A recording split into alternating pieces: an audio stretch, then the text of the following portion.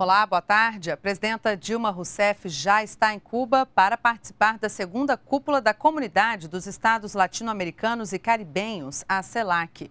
Hoje, a presidenta Dilma vai acompanhar a inauguração da primeira fase do Porto de Mariel, obra financiada pelo Banco Nacional de Desenvolvimento Econômico e Social, o BNDES.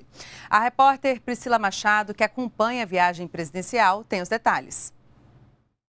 A presidenta Dilma participa nesta segunda-feira, ao lado do presidente cubano Raul Castro, da inauguração da primeira fase do Porto de Mariel, que fica a cerca de 50 quilômetros da capital Havana.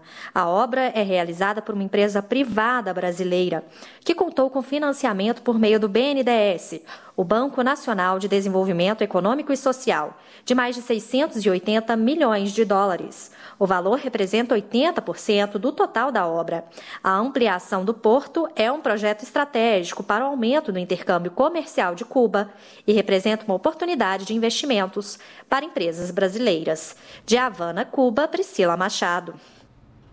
Após a inauguração, Dilma e Raul Castro devem se reunir para tratar de temas da agenda bilateral e regional. Os principais produtos vendidos pelo Brasil a Cuba em 2013 foram óleo de soja, arroz e milho. E no domingo, a presidenta Dilma já teve encontro bilateral com a presidenta da Argentina, Cristina Kirchner. A presidenta chegou a Havana, capital de Cuba, na tarde deste domingo. Ela foi recebida no aeroporto da cidade pelo ministro cubano do Comércio e das Relações Exteriores, Rodrigo Malmierca. Ainda no aeroporto, ela passou em revista as tropas e seguiu para o hotel. Lá, a presidenta recebeu flores de jovens brasileiros que estudam medicina em Cuba.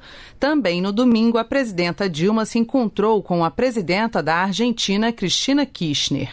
A reunião, a pedido de Kirchner, foi realizada no hotel onde Dilma está hospedada. E nós podemos voltar a qualquer momento com outras informações. Continue com a gente na NBR, a TV do Governo Federal.